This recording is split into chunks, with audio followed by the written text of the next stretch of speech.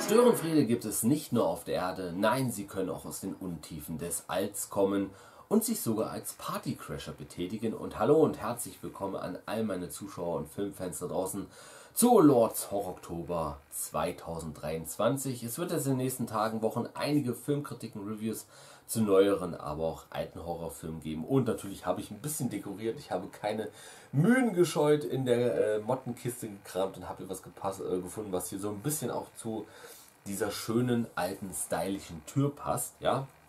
Und heute fangen wir ein bisschen seicht an mit einem Film, auf den ich mich schon ein bisschen gefreut hatte. Den Trailer habe ich schon vor ewigen Monaten gesehen und es ist die neueste Regiearbeit von Jason Eisner, dessen wohl bekanntester Film nach wie vor Hobo with a Shotgun ist. Heute geht es um Kids vs. Aliens quasi.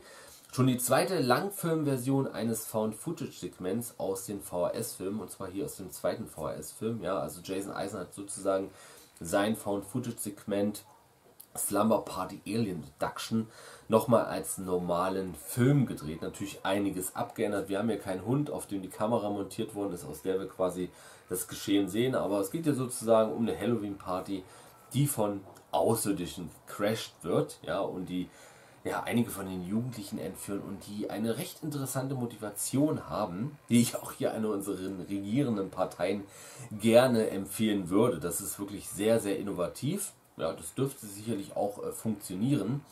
Und es ist ein Film schon, an den ich gewisse Erwartungen hatte, weil der Film sich auch weder um politische Korrektheit schert, ja, und natürlich ähm, wieder mal aus dieser mittlerweile sehr, sehr ausgelutschten Retro-Welle rumreitet. Also was den Soundtrack angeht, was manchmal die, äh, die optische Gestaltung des Films angeht. Ja, also das ist etwas, ähm, was bei mir seit längerer Zeit nicht mehr zündet und natürlich die Kinder hier in dem Film, drei sind es an der Zahl, schon einige Kraftausdrücke im Mund haben und die Dialoge teilweise sehr fäkalisch sind und unter der Gürtellinie sind und so weiter. Das kann einen relativ schnell auf die Nerven gehen, weil davon eine Menge, Menge vorhanden ist und ähm, daher die Figuren allesamt deutlich überzeichnet sind. Für mich allesamt Comic Reliefer und der Kamera, in der Handlung hier dreht es sich um äh, Gary und Samantha, ja, äh, Bruder und Schwester, ähm, die Eltern haben die nie da sind, weil die halt immer Geld verdienen müssen. Also die verdienen wirklich gut Geld, aber die sind nie da. Ich mich gefragt, wozu haben die eigentlich Eltern, wenn die nie da sind? Und da hat, hat Samantha ihren Bruder Gary in den letzten Jahren alleine aufgezogen und hat eigentlich immer viel Spaß mit ihm gehabt. Aber nebenher eigentlich ihre eigene Pubertät komplett äh, vernachlässigt, ja, was Jungs angeht und Abhängen und so weiter angeht, hat sie gar nicht gemacht. Sie dreht dann lieber Filme äh, mit, äh, mit Gary und seinen besten, äh, beiden besten Freunden. Und dann taucht eines Tages natürlich Billy mit seinen beiden Kompagnons auf. Ja, äh, weil sie suchen eine Party-Location, weil Halloween steht natürlich an.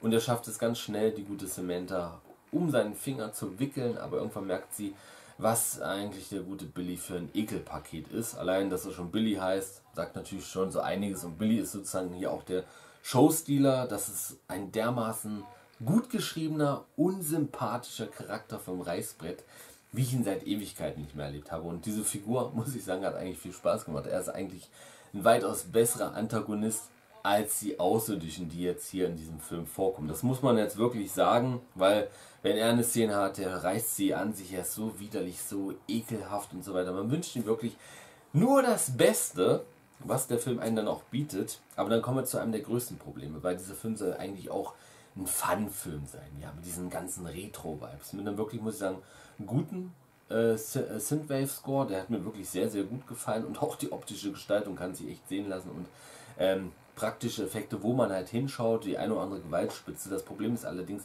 wenn der Film mal loslegt, hört er dann auch wieder schnell auf. Also dann tritt wieder irgendeiner aufs Gaspedal drauf und dann nicht mehr so, hier hätte man wirklich einige irrwitzige Sequenzen gestalten können, wenn man das schon hat und hätte so richtig auf die Kacke hauen können. Aber der Film kommt immer so mit angezogener Handbremse daher. Ja, so um wir wissen, ja, wir wollen aber auch ein Familienfilm sein, wie die Goonies. Halt nur mit bösen Außerirdischen und einem wirklich widerlichen ähm, ähm, Halbstarken namens Billy. Denke ich mir so, warum tritt ihr hier immer aufs Gaspedal? Haut doch mal richtig ordentlich auf die Kacke. Und das ist halt ein bisschen komisch, ja. Ich meine mal, ähm, als Erwachsenenfilm funktioniert es durchaus. Wir haben Kraftausdrücke, wir haben ein paar wenige Gewaltspitzen, aber jetzt großartig von Gore, das Blätter zu reden, äh, das nehme ich jetzt persönlich jetzt hier nicht in den Mund, ja.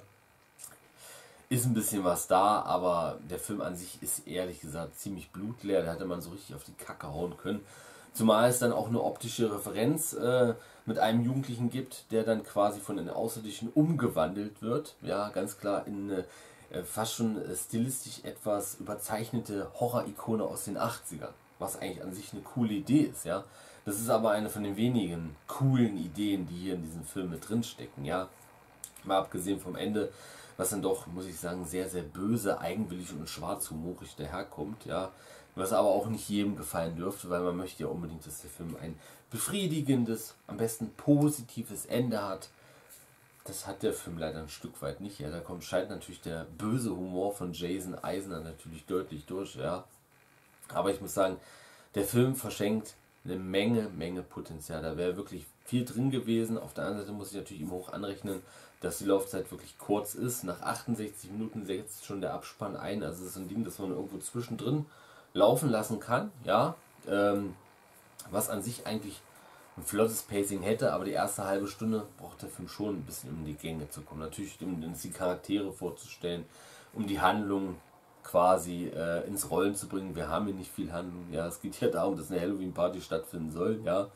Ähm, und die dann halt gecrashed wird von übelhändigen Außerirdischen, ja, die äh, allesamt muss ich sagen, gut designt sind, sind, sind so die alten Grauen ein bisschen, ja, schon ein bisschen morbider kommen die Typen rüber. Aber das war es dann halt letzten Endes auch gewesen. Und so schnell ist der Film dann halt auch aus dem Kopf wieder raus. Das ist halt schade, ja. Das ist wirklich eine Menge verschenktes Potenzial. Auf der anderen Seite muss ich aber wirklich sagen, dass mir diese Langfilmversion besser gefallen hat als das Found-Footage-Segment aus VHS 2.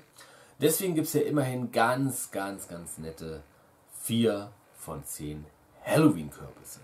Ja, und ihr könnt mir natürlich unten in die Kommentare reinschreiben, ob ihr Kids vs. Aliens schon gesehen habt, ob das eventuell etwas für euch wäre, wie ihr denn die Found-Footage-Version von dieser Langfilm-Version findet, könnt ihr alle eure Gedanken wieder unten reinhauen und wir sehen uns auf jeden Fall dann wieder zu einer weiteren horrormäßigen Horror-Oktober Filmkritik-Review hier auf Lord Gam Gam Full, The Other Side of Movies. Ciao, euer Chris.